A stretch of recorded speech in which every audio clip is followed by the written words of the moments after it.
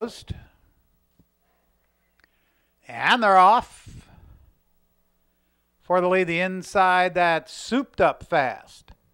Commodore's Alley up from the outside. Then up in the center of the track, Sorcerer is next. Moving through from the inside, Yo Coltrane. Then Recognize as the move midway on the turn. Souped up fast has the lead. Now half length. Commodore's Alley second. Gap of two lengths. Sorcerer on the outside third. Yo Coltrane is now fourth. It's a length back. Center of the track, Sun Valley Al takes fifth. From the rail, Recognize is sixth.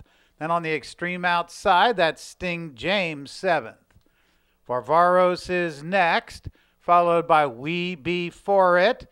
Two back to Hard Knot and Bull in a China Shop is the trailer after a half and 49 and 2.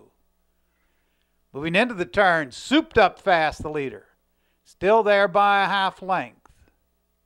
Now up from the outside, Sorcerer gains those two right together. It's a length to Commodore's Alley in third. Yo Coltrane fourth. Center of the track, Sting James is now fifth. Then it's up on the outside, Recognize is next as they move into the stretch. On the inside, souped up fast, continues to lead. Sorcerer second, Yo Coltrane third, recognizes fourth, but it's souped up fast. In front, souped up fast, leads all the way, wins at a length and a half. Sorcerer second, then it looked like recognize over Bull in a China shop. That's a photo for third.